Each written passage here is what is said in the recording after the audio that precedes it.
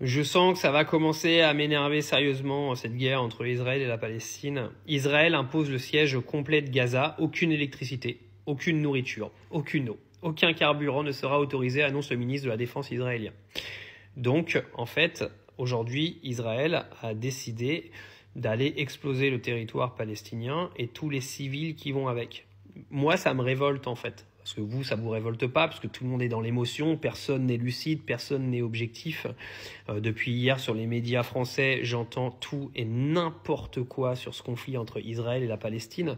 Et aujourd'hui, on vient t'expliquer en fait que des vies sont plus importantes que d'autres. Et il y en a marre, parce qu'on a déjà entendu ça entre les Ukrainiens et les réfugiés africains, où on est toujours en train de te dire que les Ukrainiens ont plus d'importance que les autres, ou du moins euh, que les gens de couleur en ont moins, du coup.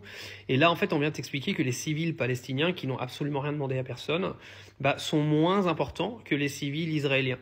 Mais c'est une dinguerie. Hein. Pourquoi? Juste parce que c'est des Arabes? Arrive un moment, faut, faut arrêter un petit peu tout ça, parce que ça commence à être fatigant. C'est-à-dire que si demain, Israël s'amuse à défoncer l'intégralité de Gaza en tuant des centaines de milliers de civils en Palestine, il va falloir que Netanyahou réponde de ses actes.